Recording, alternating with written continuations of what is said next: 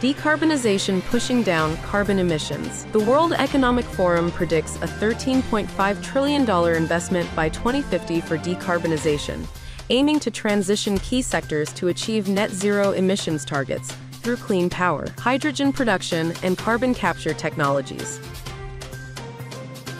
Servotech leads Green Push in collaboration with National Solar Energy Federation of India. Servotech Power Systems Limited, a leading manufacturer of EV chargers and solar solutions, in collaboration with the National Solar Energy Federation of India, inaugurates Delhi's first grid-connected solar-powered EV charging carport.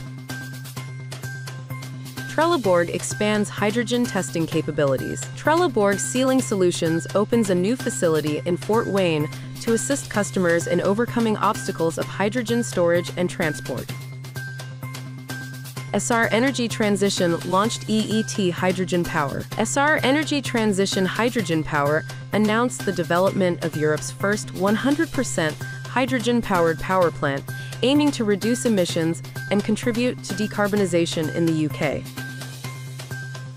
Indosolar inaugurates solar module facility. Indosolar, a subsidiary of Waaree Energies, has launched its 1.3 gigawatt solar module facility in Noida, creating new jobs and nurturing India's solar energy sector. Rays Power Infra creates a subsidiary to manufacture solar solutions. Rays Power Infra established a 100% owned subsidiary dedicated to manufacturing solar modules, solar cells, and battery energy storage systems at a gigawatt scale.